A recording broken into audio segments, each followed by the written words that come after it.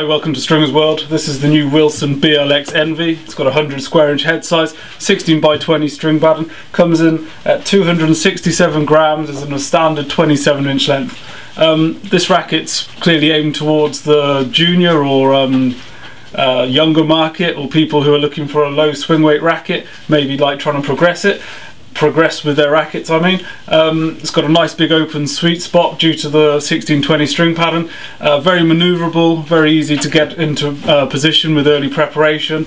Um, doesn't hit the biggest ball in the world with only 267 grams. That's not really what it's designed for. It's designed more for uh, consistency and like developing your strokes.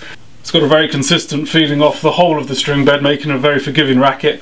Um, serves with it were I could hit loads of spin with it, um, really easy to manoeuvre and whip round. Ground strokes were solid, very um, consistent, as I said, with that consistent feel. And uh, when you came to the net, very manoeuvrable, so it's easy to get the racket in position and put both touch and uh, more punch volleys away.